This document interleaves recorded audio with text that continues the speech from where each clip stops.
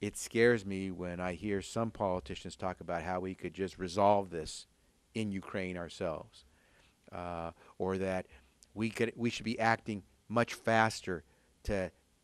take care of the Russian issue in Ukraine or take out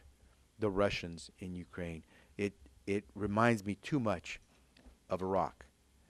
And I believe that we owe it to our men and women in uniform to act very carefully